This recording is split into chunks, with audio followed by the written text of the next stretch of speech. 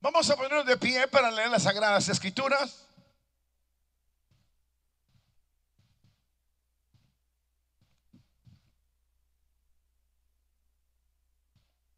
Y el capítulo que vamos a leer es Segunda de Reyes, capítulo número, el número 4. Segunda de Reyes, capítulo número 4.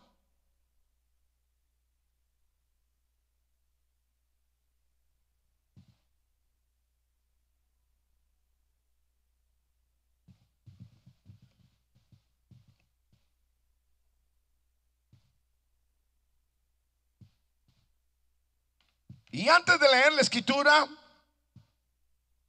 vamos a orar, Señor, y Padre nuestro que estás en los cielos, santificado sea tu nombre.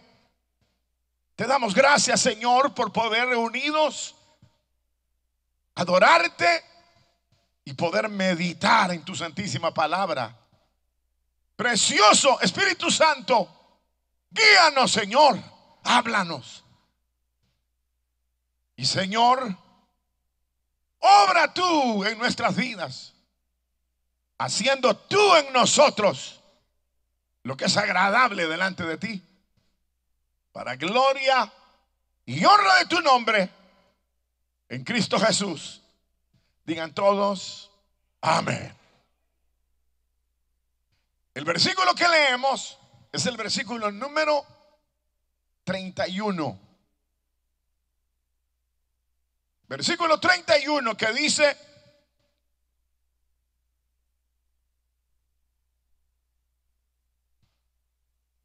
Él entonces se levantó y la siguió.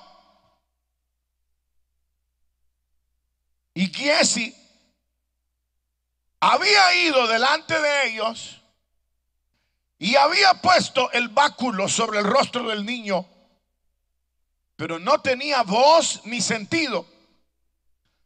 Y así había vuelto para encontrar a Eliseo. Y se lo declaró diciendo, el niño no despierta. Amén. Hasta ahí dejamos la lectura. Tengan la bondad de sentarse.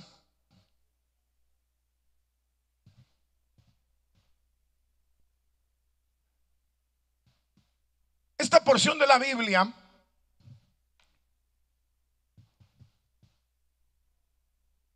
es una porción que nos habla principalmente de los motivos, los motivos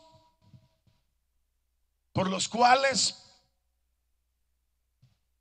la operación divina o la operación de Dios no se realiza.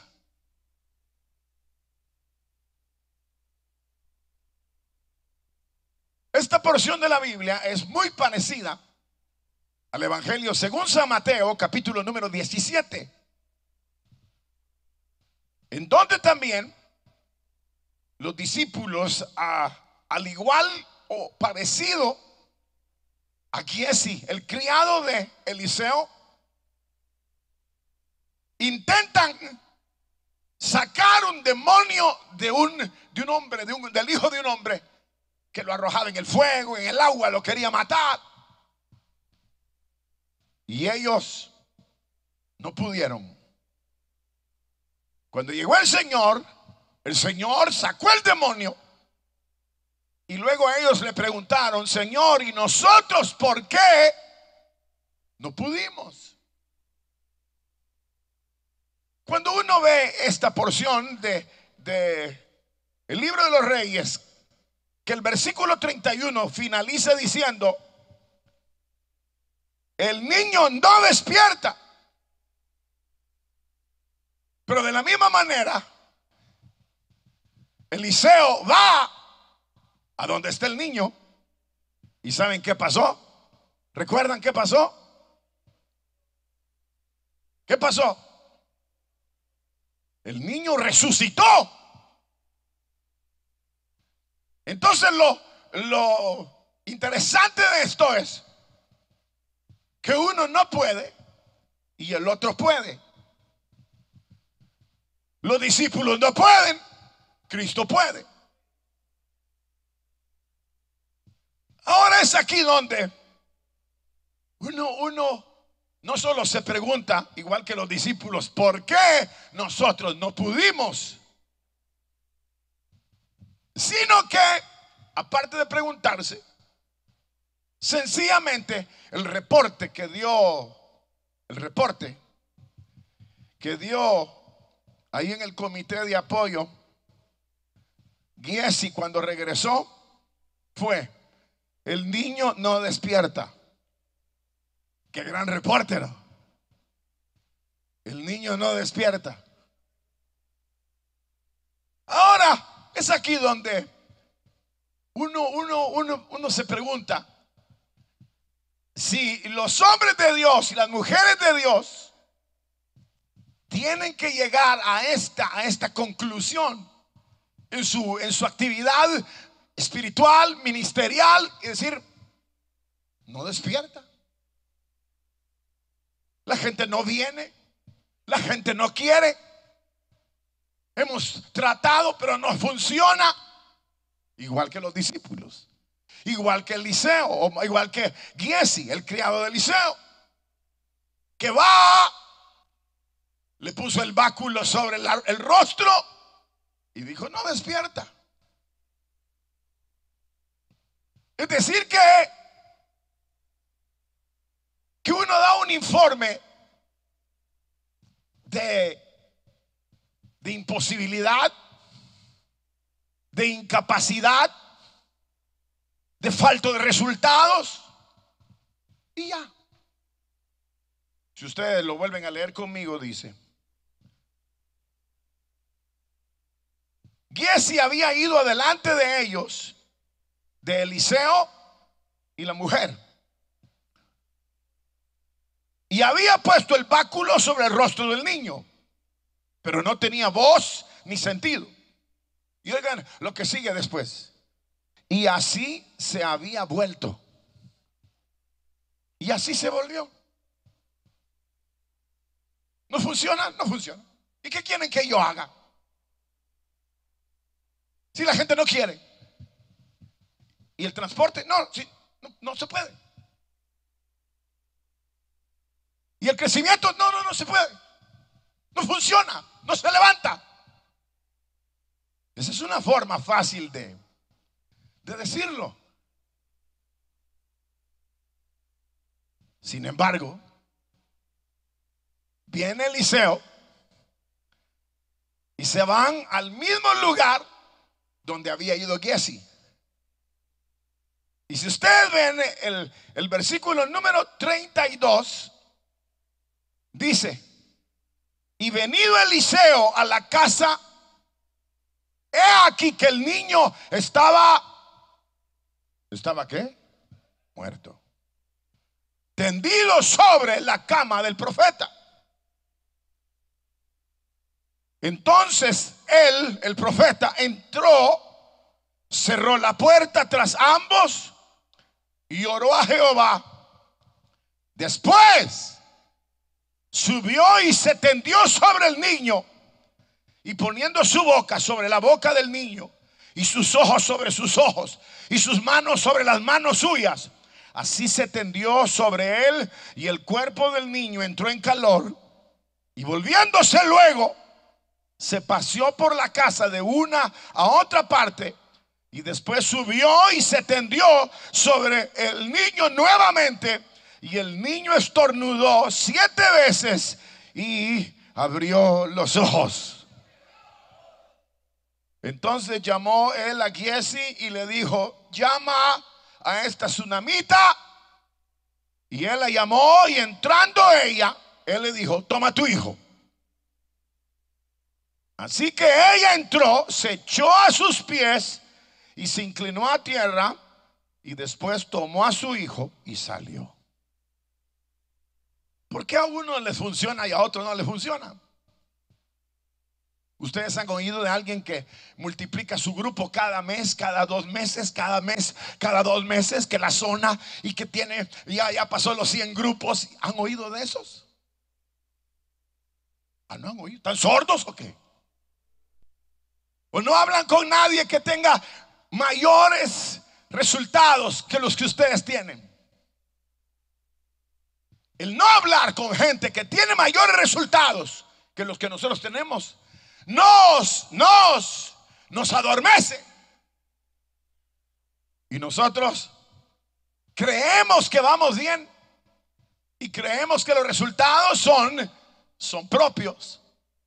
Porque la situación está difícil, la situación está dura, la situación pues eh, es de indiferencia.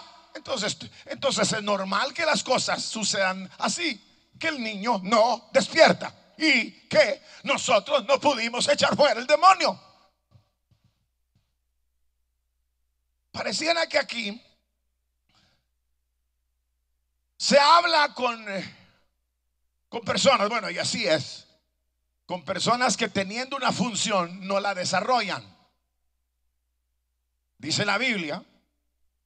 Entonces dijo Eliseo a Giesi, ese es el 29. Entonces dijo el profeta Eliseo a Giesi, ciñe tus lomos y toma mi báculo en tu mano y ve si alguno te encontrare no lo saludes y si alguno te saludare no le respondas y pondrás mi báculo sobre el rostro del niño. Y la respuesta fue, el niño no despierta. Ahora es aquí donde uno, uno se pregunta, ¿dónde está el fallo? ¿Dónde está el fallo para que las cosas no sucedan? ¿Por qué Eliseo lo logra? ¿Y por qué el Señor lo logra? Porque el Señor se acercó y el demonio ya estaba dando vueltas en el piso. ¿Y por qué nosotros no? ¿O por qué? ¿Por qué el criado no? ¿Cuál es la diferencia entre el criado y Eliseo? ¿Cuál es la diferencia? Físicamente, ninguna.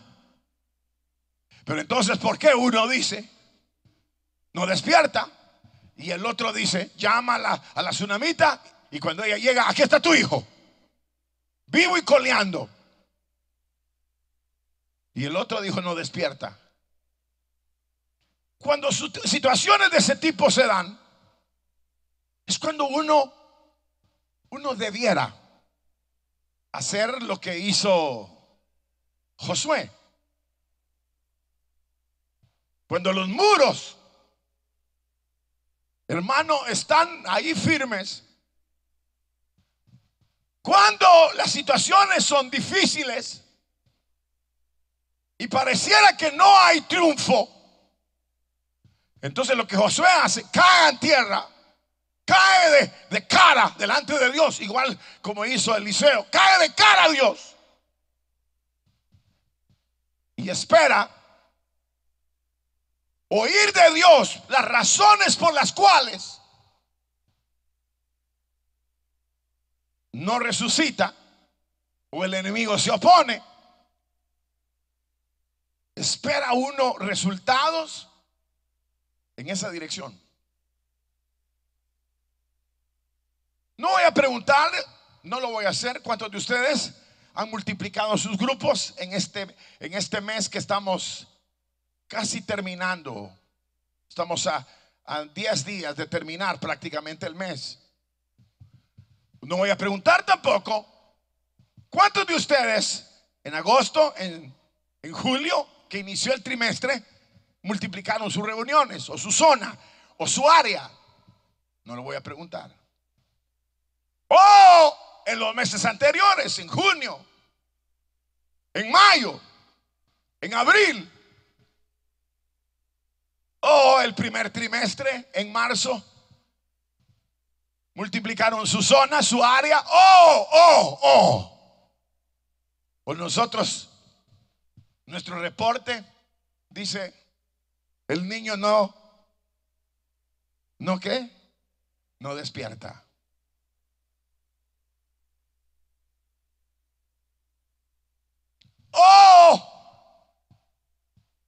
Lo que dice San Mateo. Y los discípulos cuando llegaron a casa le preguntaron al Señor, Señor, ¿y nosotros por qué no pudimos?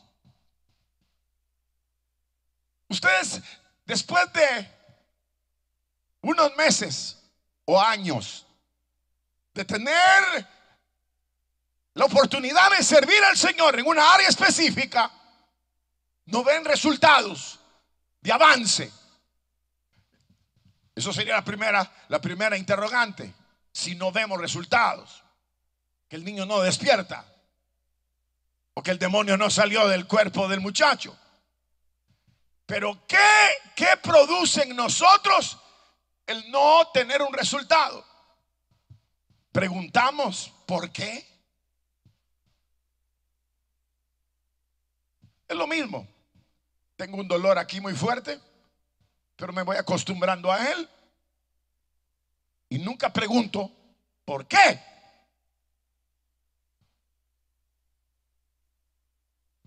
O el vehículo está haciendo un gran ruido y nunca pregunto, ¿por qué? Entonces, ¿qué va a pasar? Que un día de estos, el vehículo ya no rinde como debe rendir y, y podría suceder un gran golpe por no haber tenido, diría yo, la atención de ir y, y examinar las cosas.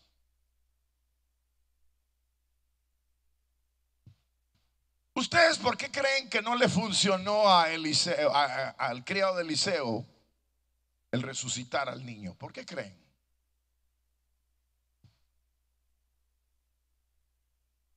No van a decir, no, no, ahorita está abierto, pueden opinar.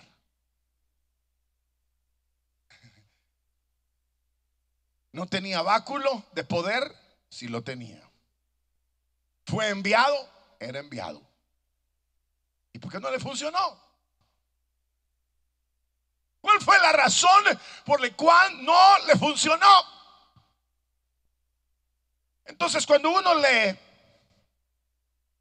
esta escritura y lee los, eh, los versículos, yo diría de, este capítulo 4, capítulo 5, capítulo número 6,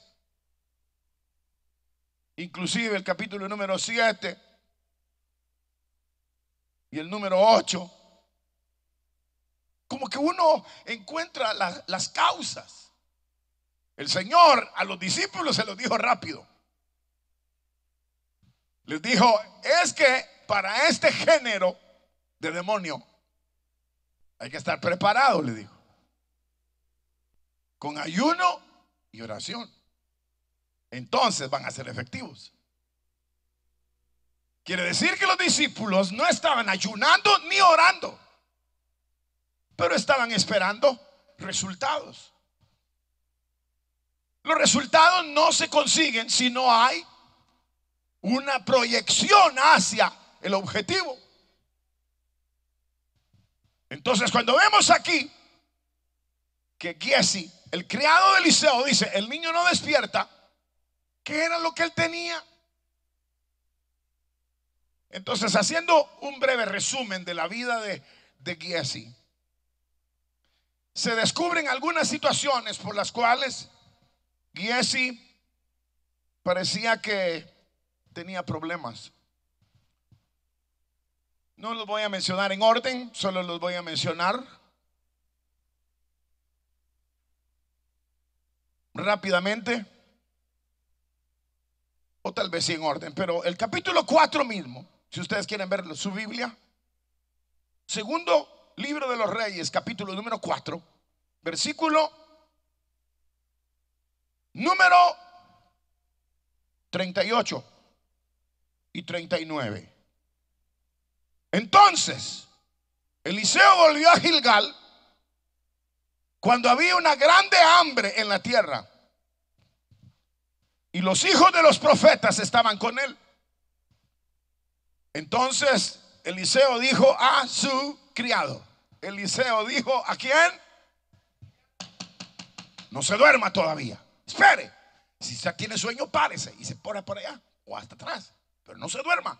Porque entonces pierde todo. Ni se distraiga. Porque entonces pierde todo. Tiene que poner atención. Aquí pueden ver nada más. Para ninguna otra parte. Entonces, dice, Eliseo había, volvió a Gilgal y había grande hambre. Y los hijos de los profetas estaban con él. Entonces dijo, ¿a quién? A su criado. Pone una olla grande y haz potaje para los hijos de los profetas. Capítulo 4, verso 39. Pueden leerlo conmigo. Y salió uno al campo a recoger hierbas y halló una como parra montés. Y de ella llenó su falda de calabazas silvestres. Y volvió y las cortó en la olla del potaje. Y aquí viene una, una declaración muy interesante. ¿Qué dice ahí? No sabía lo que era. Eso era el criado que no sabía lo que estaba haciendo. Entonces cuando uno no sabe lo que está haciendo, va a envenenar a la gente. Y uno se pregunta, bueno, ¿y qué será que el grupo no parto? La gente ya no quiere venir, porque ¿cómo van a, ¿para qué van a llegar si hay un, un envenenador ahí? Que no sabe lo que está haciendo.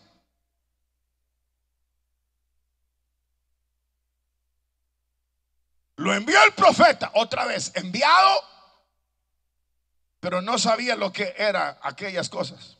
La sirvieron y grita alguien, varón de Dios, hay muerte en la olla. Es decir, que el criado de Eliseo, hermano, era un tipo inconsciente, que estaba sirviendo lo que él no sabía y estaba envenenando a la gente. Ahora, si ustedes le, le, empiezan a contar de aquí en adelante, vea para acá, empieza a contar lo que, el, lo que el criado era, se van a dar cuenta porque el niño no resucitó. Era un ignorante. Era un descuidado. O sea, digámoslo, no ignorante, descuidado. Era un descuidado. Y va, ah, dice, esto está bueno. Ah, esto también. Y llenó su, vestido en eso. Iba a la olla. descuidado, no sabía ni qué estaba dando. Entonces, un tipo o una persona, liderazgo, liderando, descuidado, no puede esperar que el niño resucite. Está descuidando la obra, está descuidando su tiempo, está descuidando su comunión, está descuidándolo todo. Entonces, ¿cómo va a funcionar? No está cuidando su vida, no está cuidando nada. Ni a la vida de los hermanos, ni la vida de su grupo, ni la vida de nadie. Es un descuidado. Él dice que ama a Dios, pero no lo ama. Porque es descuidado. Es más o menos igual que las, las vírgenes, ¿se acuerdan? Que el, el pregón dijo, salid a recibirle. Viene el esposo. Y dice, y las que estaban apercibidas salieron. Las que no estaban apercibidas se habían descuidado. Entonces, ¿cómo iba a funcionar que ellas ingresaran como la, la amada de Dios, la amada del esposo, la amada? No podía ser porque se habían descuidado. Una pregunta para que ustedes sientan que, que es un, un pensamiento para nosotros. Ustedes cuidan todo. Están cuidando su vida, sus actos, sus pensamientos. A los hermanos. Los llamaron hoy a todos los, miembros de su, de liderazgo. Llamaron a los líderes y les dijeron, hermano, hoy tienes que estar en la noche. Si no tienes como yo, yo te pago el Uber y di vuelta y te llevo a comer, pero no puedes faltar. Algo así. Cuidándolo desde la mañana hasta la noche. Entonces cuando Giesi va a levantar al muerto, el muerto ni se movió. ¿Para qué se iba a levantar si otro descuidado lo iba, lo iba a cuidar? No sé cómo les fue en ese tiro, hermanos. Ahí viene otro, espérense, ahí viene otro.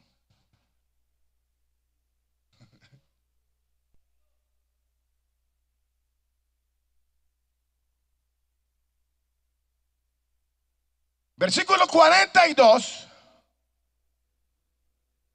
Vino entonces un hombre de Baal Salisa, el cual trajo al varón de Dios panes de primicias, 20 panes de cebada y trigo nuevo en su espiga. Y él le dijo, da a la gente para que coma.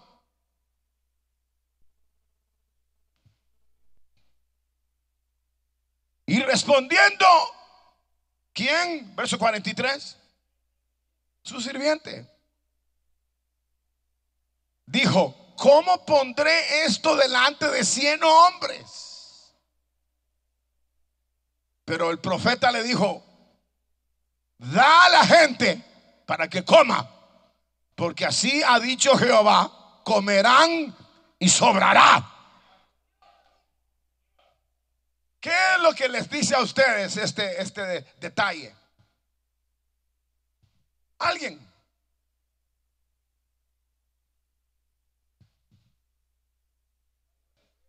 Correcto, correcto.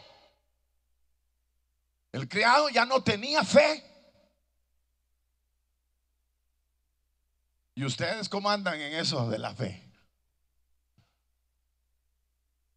Ustedes saben que dentro de una semana no van a caber la gente en donde ustedes están eh, eh, llevando el mensaje.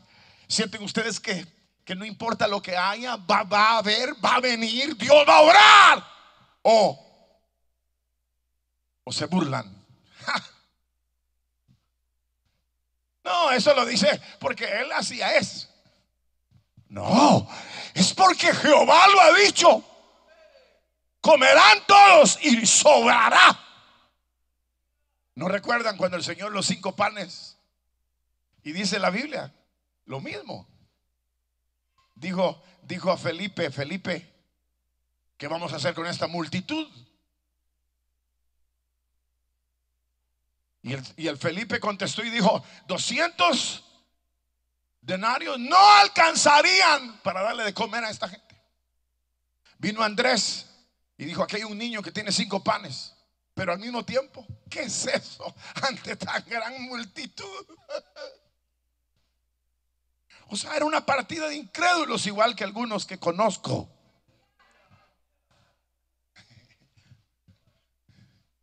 Incrédulos. Y comieron. ¿Y qué pasó con, los discípulos? ¿Comieron y qué? Sobraron 12 canastas, una para cada discípulo incrédulo. Ya me imagino yo a los discípulos recogiendo las canastadas habían comido cinco mil hombres sin contar las mujeres y los niños. Y se van a la casa. Cuando llegan a la casa y la mujer, ¿y de dónde traes ese montón de pan, mi amor? No sabía ni qué decirle.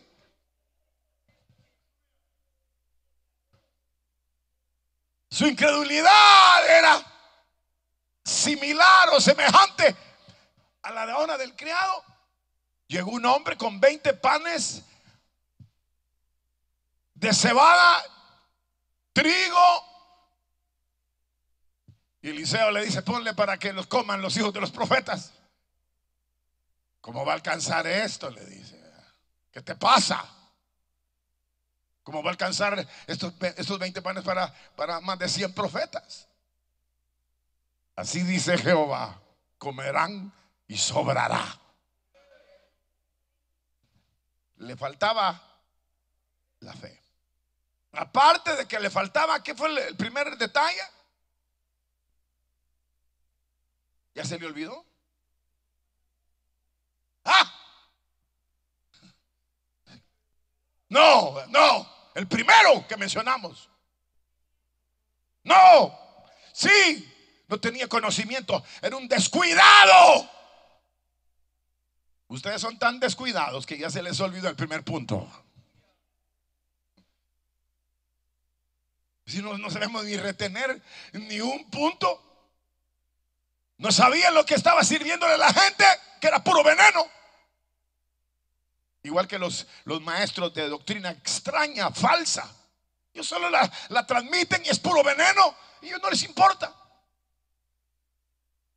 Pero van a llegar al momento cuando verán el resultado de su descuido e ignorancia. ¿Cómo les fue en este punto de fe? Ah, no van a contestar, pues.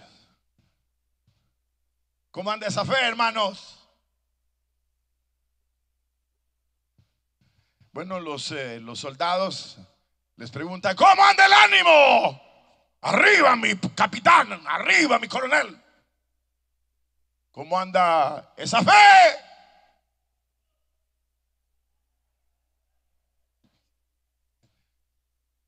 Y todavía creen ustedes que vamos a, hermano, a llenar siete veces este local.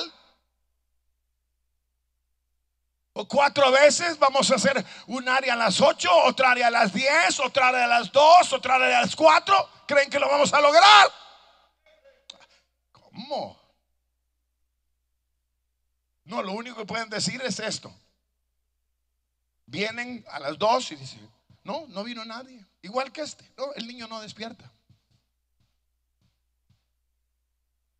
Pero no se da cuenta que tanto la derrota como el triunfo se cultiva. ¿Se les ha olvidado lo que dice el Señor? Lo que el hombre sembrare. ¿Qué dice? ¿Qué dice? Que lo que el hombre sembrare, ¿qué? Eso también segará. Entonces, si siembra descuido, ignorancia y siembra falta de fe, eso va a cosechar. Pero si siembra orden, dedicación, estudio, se prepara y mantiene una fe lo más alto, ¿qué va a cosechar? Que hayan resultados. Uno más, porque si no, solo uno más.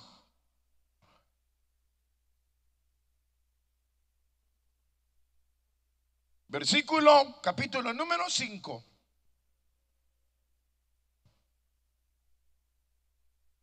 Versículo número 20. No, voy a leer todavía antes del 20.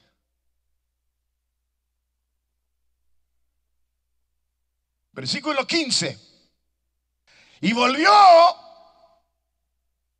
Naamán al varón de Dios, él y toda su compañía, y se puso delante de él y dijo, Señor profeta Eliseo, ahora He aquí que conozco que no hay Dios en toda la tierra sino en Israel. Te ruego que recibas algún presente de tu siervo. Mas Eliseo dijo, 16, vive Jehová en cuya presencia estoy, que no lo aceptaré ningún presente y le insistía que aceptara, pero él no quiso.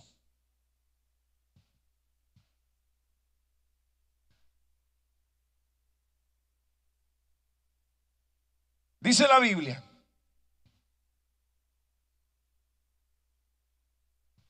Verso 19.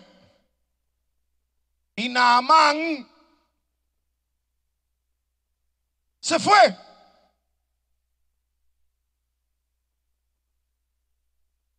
Y caminó como media legua de la tierra. Verso 20. Entonces Giesi, ¿quién era Giesi? El criado de Eliseo, el varón de Dios. Dijo, ¿dijo qué? ¿Dijo qué? Verso 20, 5:20. ¿Dijo qué? Entre sí. Esto significa, vea para acá, después sigue leyendo, o en la casa lea la Biblia. Pero ¿saben qué dijo? Dijo entre sí. ¿Saben qué quiere decir eso? Que él decía una cosa para afuera y adentro era otra. Esa no la van a pasar, hermanos. Bueno, ya no ha pasado ni la primera. La de fe tampoco. Ahora cuando viene y dice que dijo entre sí, este mi señor perturbó a Naamán que no le recibió nada. Es decir, que él dentro de sí mismo era un, un hambriento y codicioso. Hambriento de valores temporales y codicioso. Pero no parecía. Ahora cuando uno ve a este hombre yendo con el báculo de Eliseo a resucitar el hijo de la tsunamita, ¿cómo va a resucitar?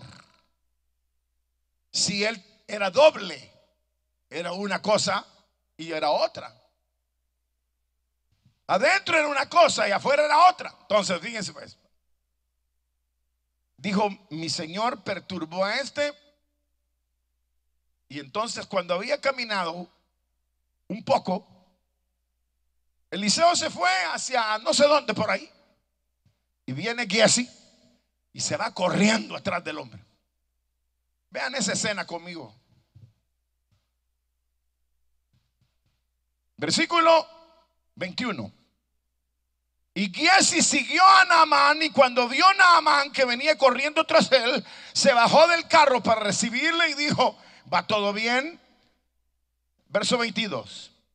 Y dijo el criado, bien, mi señor, bien, mi señor me envía a decirte, he aquí vinieron a mí en esta hora del monte de Efraín dos jóvenes de los hijos de los profetas te ruego que les des un talento de plata y dos vestidos nuevos. Era un mentiroso. ¿Cómo le iba a funcionar? El niño no resucita y bien, tranquilo, no, no resucitó. ¿Y cómo va a resucitar si él es un mentiroso, tiene doble personalidad, él no tiene fe, es un tipo desordenado? ¿Ustedes quisieran ser siervos de Dios? ¿Y por qué no contestan pues? ¿Quisieran ser siervos de Dios útiles para la gloria de Dios? ¿Quisieran? Cómo pues? Si seguimos mintiendo, seguimos teniendo doble personalidad, faltos de fe, desordenados. Dice la Biblia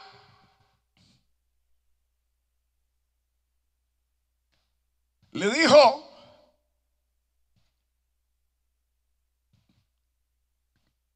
han venido los jóvenes de los profetas y necesitamos plata y vestidos. Verso 23, Naamán dijo, toma dos talentos y ató los dos talentos de plata en dos bolsas y dos vestidos nuevos y los puso todo a cuesta de dos criados para que lo llevasen delante de él. Versículo 24. Y así que llegó a un lugar, a un lugar que, es decir, que escondía todo. Era sinvergüenza. Era sinvergüenza, lo escondía. Llegó a un lugar secreto Vean para acá, no pueden ver ahora para abajo. Si no, no les va a caer este pensamiento. Van a agachar así. Era mentiroso, sin vergüenza. Entonces, ¿cómo? Y ahora le dice, ve, resucita a este niño. ¿Cómo iba a levantarse el niño? Si el que lo estaba ministrando era, era de este calibre. Entonces llega al lugar secreto. Apúrense, pónganmelo aquí, aquí. Todo lo pone ahí. Que les va bien, gracias. Se fueron. Los criados de, ¿de quién? De Naamán. Entonces viene, viene este hombre y sale, ¿verdad? El criado. Limpiando ahí, ¿verdad? Solo Dios hacia el hombre feliz. Cuando sale el profeta. ¿Y qué pasó? ¿De qué, mi señor? Se hace el tonto, ¿va? ¿De qué? ¿Dónde estabas? Aquí he estado, mi señor. Otra mentira.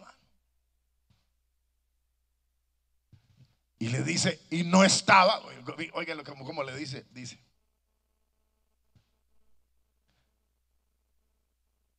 Verso 26, él entonces dijo, no estaba también ahí mi corazón cuando el hombre volvió su carro de su carro a recibirte.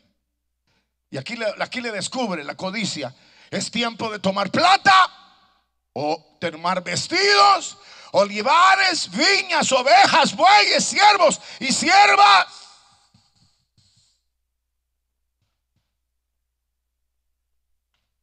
No era.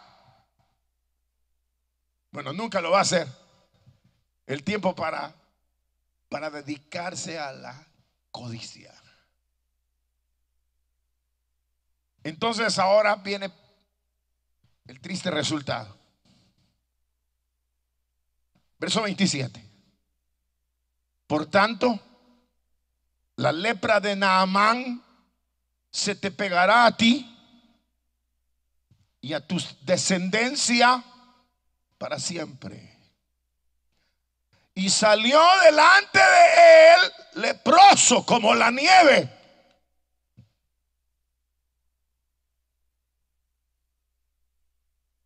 ¿Cómo iba a levantarse el niño si ese criado era un descuidado, falto de fe? Era un hombre codicioso, mentiroso. O sea que,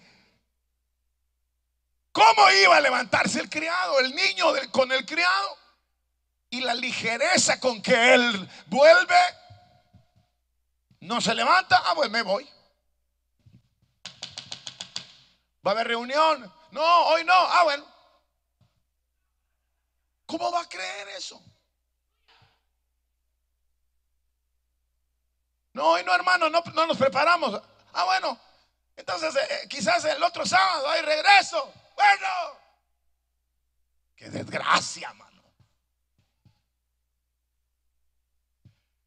Indolentes, o sea, haraganes, descuidados faltos de fe. ¿Qué más?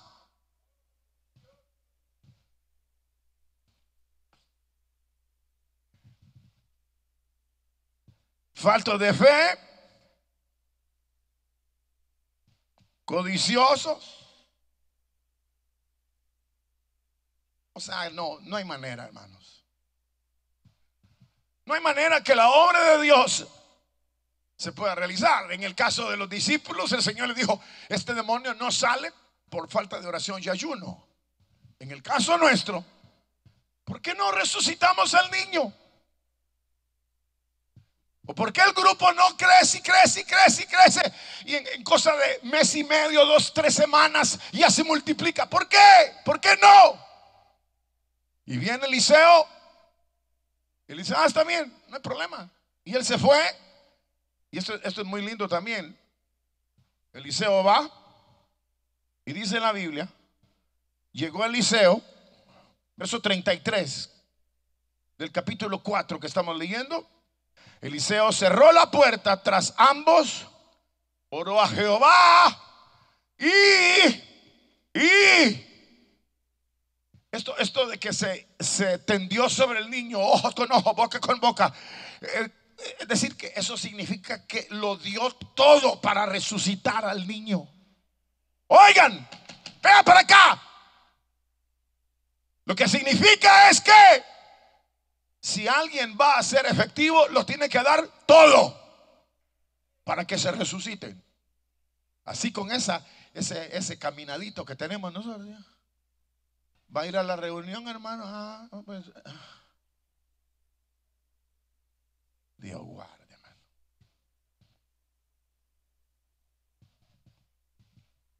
No, esa ganería. Por eso es que llegó aquel con el, báculo de ¿Dónde tienen al niño? Ahí en el cuarto, en la cama del, del profeta. Ah, bueno. Le hace así. Hasta lo puyo. No, no despierta. Nos vemos, lo siento, yo hice lo que tenía que hacer hasta la vista y se va. El otro no. El otro lo dio todo, se tiró encima. Que entrara en calor el cuerpo. Y cuando entró en calor, se vuelve a levantar. Y él dice, Señor, no, no, no permitas, Señor. Tú conoces a esta mujer, cómo ha sido, Señor. Se vuelve a tirar encima. Señor, levántalo. Lo da todo.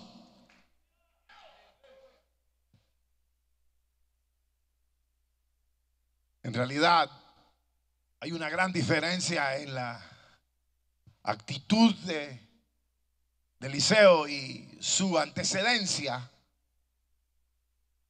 siendo desorganizado, siendo descuidado, falto de fe,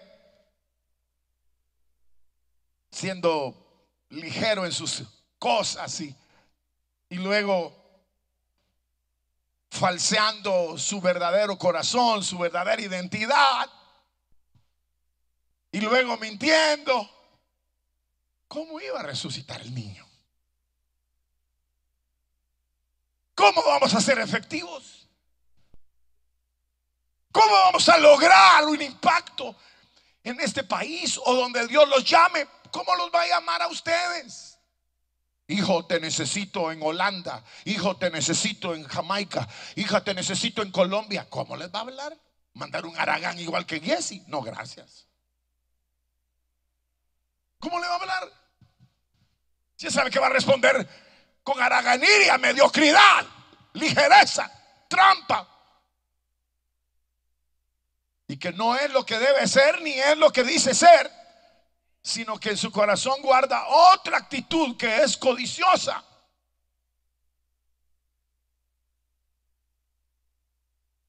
En cambio, Eliseo llegó. ¿Y saben qué quiere decir eso de que echó, el pasador? Así dice, ¿no? En el 4. Entonces cerró la puerta tras ambos. Oró a Jehová y se tiró encima. Es decir, así debe ser. Voy a decir más. Ya en, vea para acá. Ya en el idioma nuestro. O parto el grupo este fin de mes o quítenme. Porque yo no soy apto para ser líder.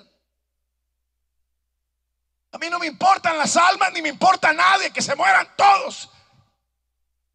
Porque a mí no me importa nadie, a mí me importa yo y mis intereses. Entonces no es apto para el reino. Y peor que nos llamemos pastores, eso es el colmo de los colmos. Llamarnos pastores y todo el día pasamos tonteando. Y nunca sabemos cuál es el estado de las ovejas ni visitación, ni nada, ni nada de nada. ¿Cómo Dios nos va a usar? ¿Y qué van a hacer entonces, hermanos? Ya se acerca después de tres trimestres donde no hemos logrado nada. Ha llegado el momento de, pedir misericordia a Dios. Y decirle, Señor, como le dijo Raquel a Jacob, ¿se acuerdan? Dame hijos o me muero, le dijo. Dame hijos o me muero. Señor, que se multiplique esto o me muero. Yo no tengo razón de vivir. Si no hay impacto en la vida, no hay impacto a través de mi existencia. Yo no quiero vivir. Y cuando nos dan una oportunidad, lo damos todo. Echamos, cerramos la puerta y les Señor, orando, Señor, otra vez. Y de pronto, estornuda el niño, ¿no? Y dice la Biblia, entonces, estornudó el niño siete veces y abrió sus ojos. Entonces, le dijo a Giesi, Giesi, vení. En aquel, sí, mi señor, ¿sos una desgracia o no lo sos? Sí, lo soy. Llama a la mujer, le dijo, para que aprendas. Llama a la mujer. Y le dice Eliseo, aquí está tu niño. La mujer se, prácticamente pareciera que se postra. se echó a sus pies y se inclinó a tierra y tomó a su hijo. Estaba agradecida porque había un hombre que hacía descender la gloria de Dios sobre ellos. Si nosotros no hacemos descender la gloria de Dios sobre los demás, mejor sean miembros de la iglesia así, porque los miembros, todos los miembros así aguados pueden ser miembros. Todos los aguados, por favor, háganse para acá. Pónganse de pie. Digan gloria a Dios, gloria a Dios. Canten. Siéntense. Pero si se quiere ser líder y siervo de Dios, se requiere otro nivel. Que es un nivel en donde se levanta o yo no salgo de este cuarto. Eso es lo que dijo Elías, Eliseo. O se levanta o yo no salgo. Es decir, que lo toma a pecho lo que le han dado a hacer. ¿Cuánto vale su liderazgo para usted? ¿Cuánto vale que usted sea supervisor? ¿Cuánto vale? ¿Cuánto vale que usted se le designe como pastor? ¿Cuánto vale para usted? ¿Cuánto vale ser pastor, ser anciano, directivo? ¿Cuánto vale ser diácono? ¿Cuánto vale? ¿Lo vale todo o vale nada? Que Dios nos ayude a todos. Vamos a ponernos de pie y vamos a orar. Señor y Padre nuestro que estás en los cielos. Santificado sea tu nombre. Te damos gracias, Señor porque nos confrontas con realidades que en otro tiempo se vivieron, pero que trascienden los años y parecieran llegar hasta nosotros estos lamentos en donde parecieran no haber podido dar vida a los muertos ni liberación a los cautivos. Señor, ayúdanos y renuévanos para poder ser útiles en tu casa y útiles y luz para los que moran en tinieblas. En el nombre de Jesús.